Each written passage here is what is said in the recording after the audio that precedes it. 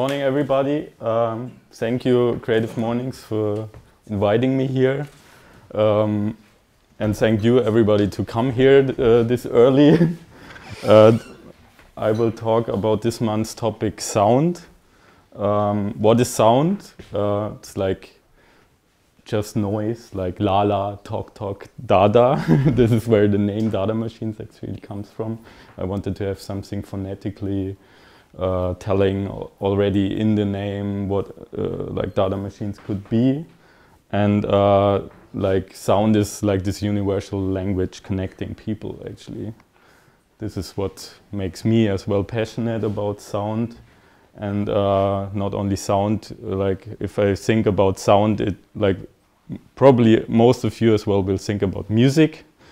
Um, and uh, yeah I, I grew uh, up in Bavaria, uh, close to the city Weilheim. Maybe some of you have heard of the band called Notwist, or Lali Puna, or Console, or went to Bar 25 and saw a set of Acid Pauli, which is one, one DJ I was playing with uh, when I was doing uh, uh, my apprenticeship as a carpenter when I was 16 years old, and uh, playing DJ sets pretty much every weekend.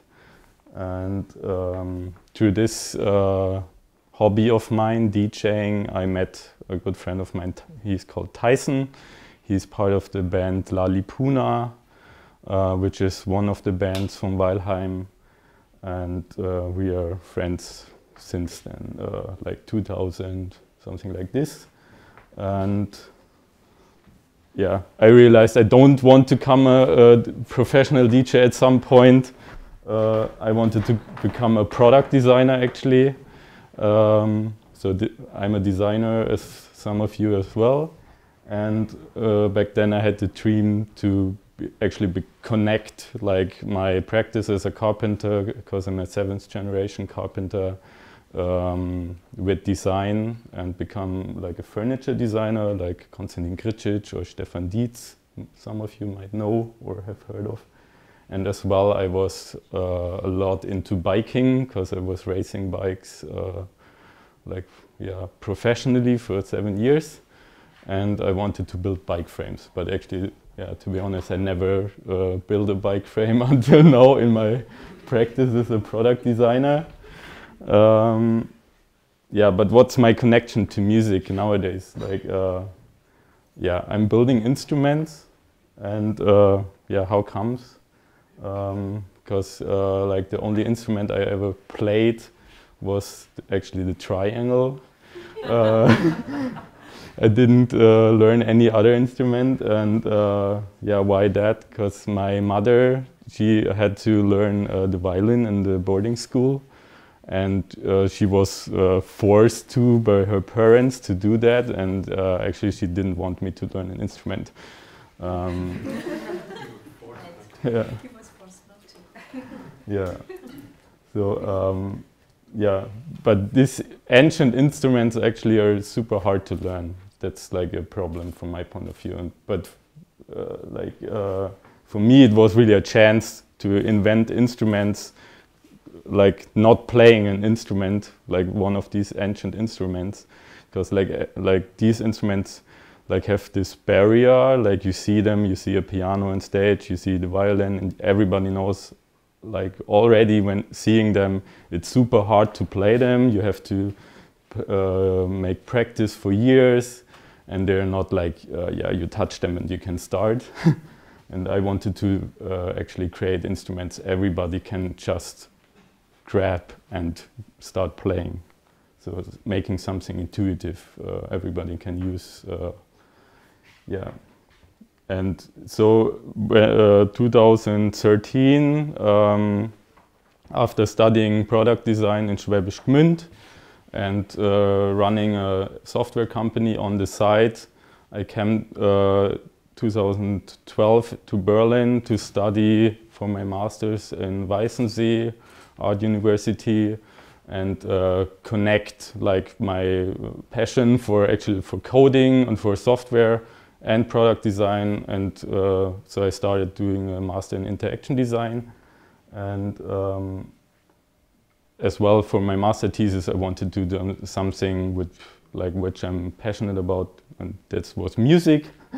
Um, so I had the idea to work on this topic, like to create uh, instruments, uh, and uh, yeah, I decided to go for uh, like a topic in this field, and I was really interested in tangible interfaces back then.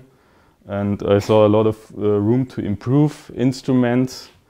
Um, and yeah DJing uh, like uh, from the early 2000 years uh, like uh, when digital DJing as well came up I saw a lot of problems because uh, like you have people on stage they use their computer to play and like this is the trend we have like uh, the last at least 15 years or 16 years uh, uh, performances played by artists and uh, they're using like this the computer as their instrument and uh, like the computer is only this universal device and it's not made for music uh, and uh, you have like a problem connecting to the audience because you don't know if the artist is reading his email, if he's on Facebook, or if he's actually playing live. Uh, so you have this uh, barrier between the audience and uh, the musician, and this is what I wanted to work on. And the question I uh, asked myself was how to overcome this disconnect between the artist and the audience. So uh, yeah, and the problem is called black boxing actually.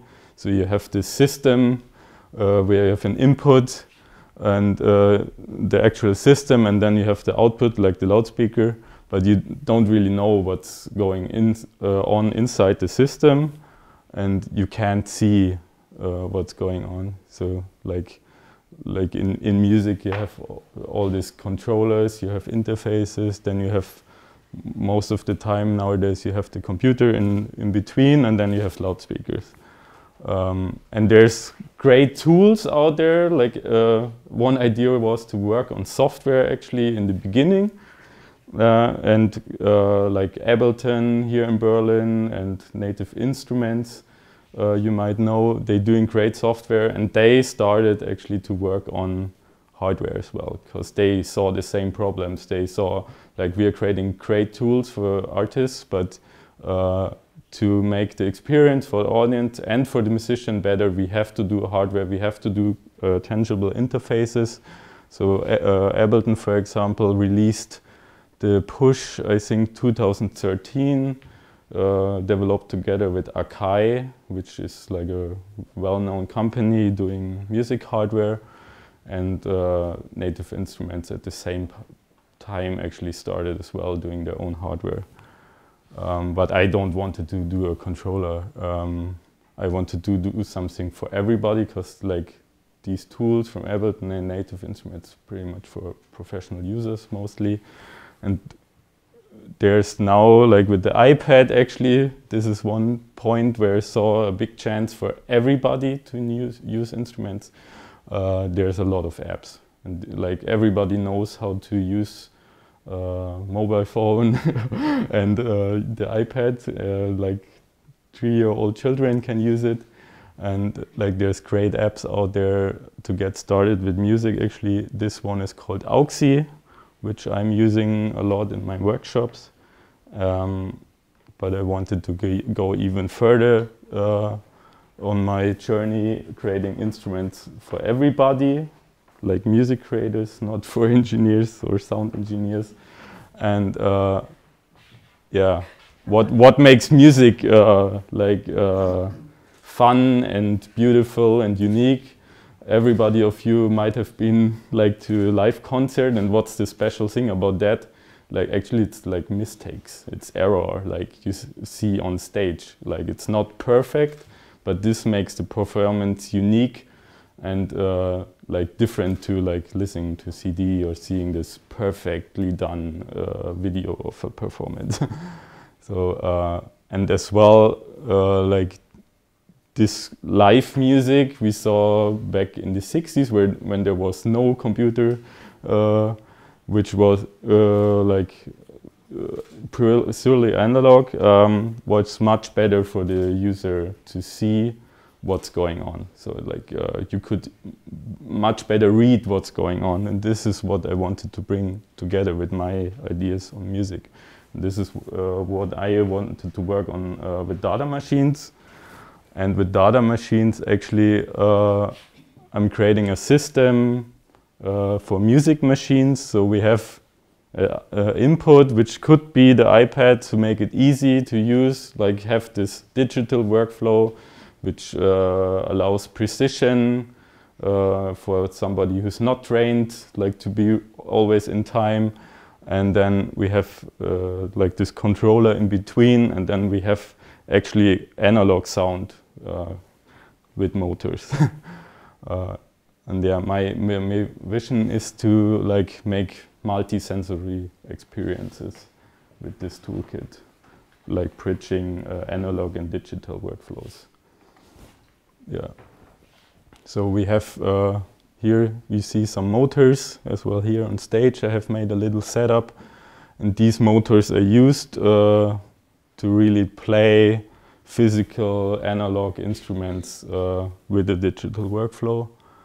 And uh, you can not only use like uh, real instruments we, we already have out there to create music, but as well uh, my idea was to use everything around us to create noise or sound and uh, so that everybody can create his own uh, sound. Like not only the sound we know already from a xylophone uh, everything should be used to make uh, music actually. And uh, it should be that easy that even children can use it This was one target of mine as well. And today that's not there yet. Actually, when you want to build music machines nowadays, it looks like this. this is where we started. You just get like a circuit board. You have to solder a lot. You have to uh, know about electronics. You have to know about mechanics. Uh, and you have to really become a nerd. and uh, working with my friend uh, I know from my DJing practice Tyson who uh, is playing for Lali Puna to make music but as well working with theater in Munich. Um, we uh, started out to uh, work on a theater play 20,000 miles beyond sea level in Munich in a, theater for children actually. And uh, there we had our test case to build music machines, uh, like the submarine of uh, 20,000 miles beyond sea level is like the stage and uh, the submarine of Nemo has a lot of machines and these are music machines actually. And here's like a little video, I hope that works.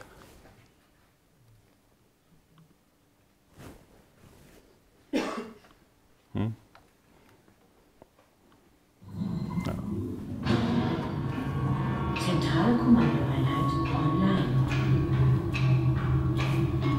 Hilfsakkumulatoren für Einspeisung vorbereiten.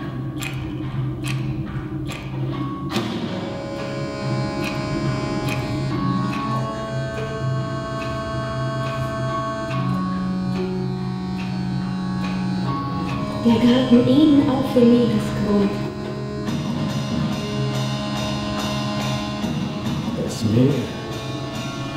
Das Medium eines übernatürlichen, wunderbaren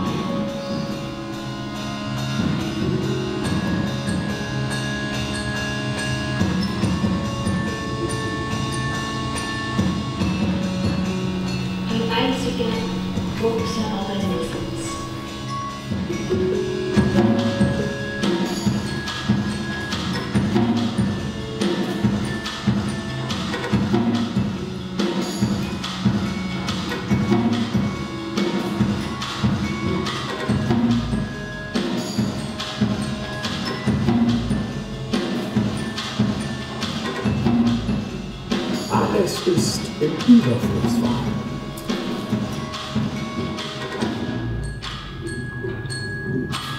Testsequenz erfolgreich. Wo gibt's denn um was zu jagen?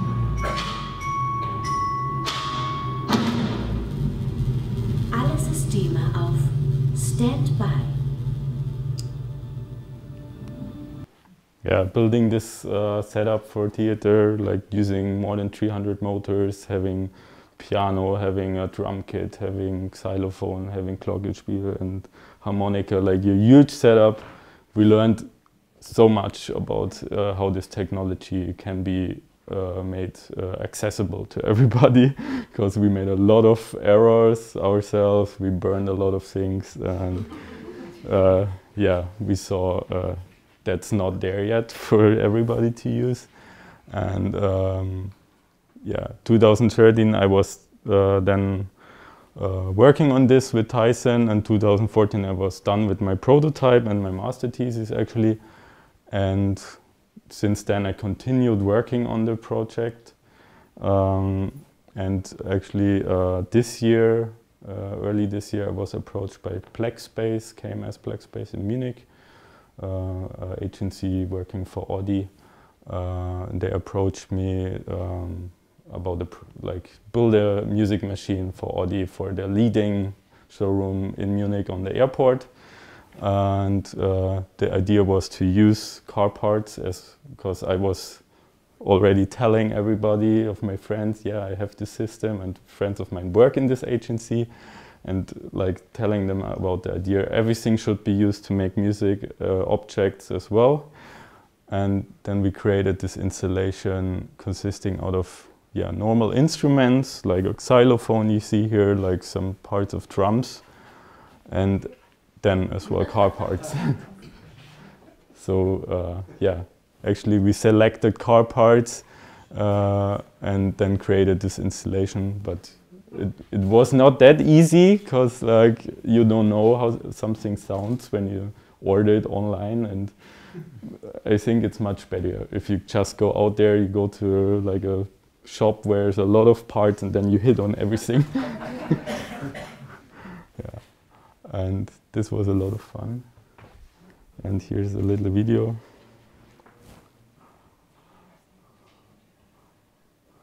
Which is not final sound actually. we just got this yesterday.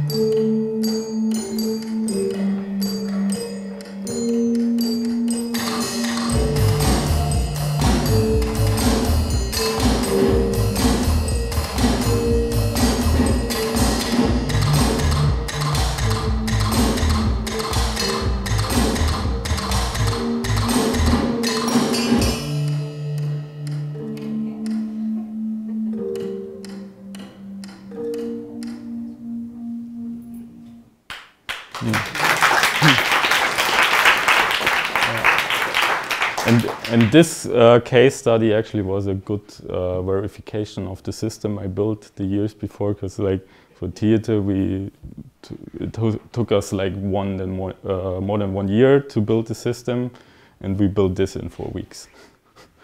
And this uh, showed really like how, how good it is to have a framework to have a system uh, to use ourselves. Actually we created it for ourselves uh, as well. And yeah, there's other bands or like uh, other people already out there since two years using the system as well to see what others can create with it besides going to Maker Faire going to workshops in London Music Hackspace, uh, KIKK Festival in Belgium. I have been in a lot of places with a lot of different people, like building setups, using this stuff. And uh, one band, uh, they're called Yoazinho, they made their latest album with the system as well.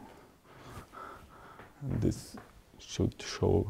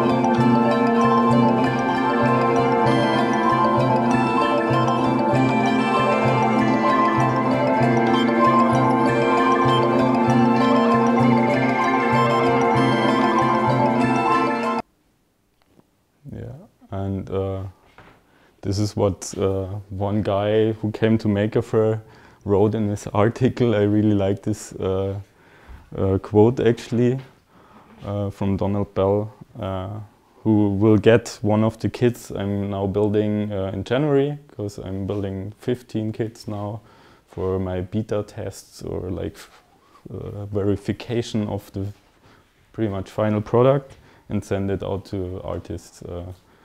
and yeah, actually, I think we could do a small demo here now. Um, so we have here interface. That's the, the app I told you about before. Uh, Auxy, it's free. You can download in the App Store and use it as well without music robots or music machines. And each of the rows is like one of the motors and you can then build up sequences and yeah, there's arrow.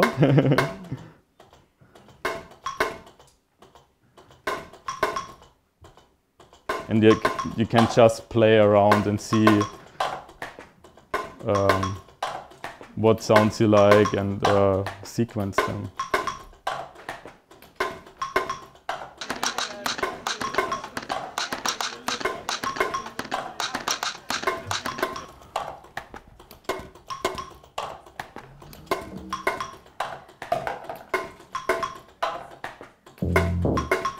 Then as well in the app you can have melodies as well, like from another sound uh, loop.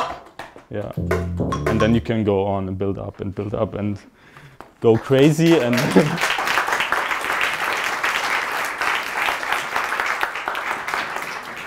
and probably parents will hate me at some point because I, I, I, see children annoy all the neighbors for whole day. So uh, yeah, why now? Uh, there's a big trend for Internet of Things actually, and I uh, want to work on the Internet of Instruments as well, connect artists worldwide and make the machines, like for example what we built for theater, available for others. So they send us the scores, we play the scores, and the machines record it and send it back. So they create this community uh, which is already there, but they are not connected. Like uh, um, they meet physically. Like we had this uh, festival two months ago in Musikbrauerei uh, called We Are the Robots, and it was really great because like all the the inventors of music machines came there. It was a big nerd fest, and everybody was showing his machines and composers were invited to play on these machines and uh, it was really uh, cool to see how they as well think about dada machines because you you take actually their magic somehow and make it available to everybody and I thought oh shit they will hate me. But actually they really liked it and uh, a lot of them want to use it in their work because like they think yeah hey, you are building something that I can work on the ideas and then the music I wanted to realize and not on the basics, on the foundation. And yeah, as well with the app, uh, apps like music uh, creation, mobile music creation is a big uh, uh topic right now. And then uh, what you see in Fab Lab, for example, here in Berlin, uh, Berlin rise of digital manufacturing technology, like everybody can use a 3D printer, everybody can create physical things much easier than like yeah going to do an apprenticeship for carpentry for years. Like now you can go to a workshop in Fab Lab for CAD tool and in the evening you have something physical there. And this is really as well a big chance to create these setups uh, much easier than it was uh, possible years before. And then uh, coding becomes mainstream nowadays as well. And like the system is open from, uh, with, this, with its architecture, so it's built on Arduino. Everybody who's like bored about the, the basic system, he can open up the box, he can change the code, he can extend the hardware, so you can really grow up with the system. And yeah, there's a lot of uh, use cases besides only music. You can build kinetic installations where things are moving. You can build light installations, and then uh, there's teaching uh, for different topics, and there's as well, uh, yeah, the the field uh, helping disabled people. Actually, like I went to Music Tech Fest, and then um, people approached me, like um, from one foundation in the UK. Hey, can you build a setup where somebody without legs can play the pedals of the piano? Like this is actually stuff you can do with robotics and with this system, and it's really nice as well. I think, yeah, and uh, to make it av available to everybody, um, I'm I will do a Kickstarter campaign in February, probably. We are right now uh, building up the website, uh, shooting video with uh, artists, and uh, that's like the next step for the project, and we will see how it goes. Yeah, and uh, to work on this, uh, actually, yeah, where does the money come from? there was like two years of bootstrapping, and I was lucky um, that in October, like just recently, I got into a project called Design Farm Berlin, which is a project of uh, my former professor in Weissensee, uh, Carola Zwick, and uh, the, um, the professor for business, Olaf Bach. They're making an accelerator uh, for designers to um, like connect creative uh, industry and business and supporting my project for the next six months. And yeah so I can work full time on the project yeah if you want to follow the process uh, follow on Facebook or Twitter or on my website. Yeah thanks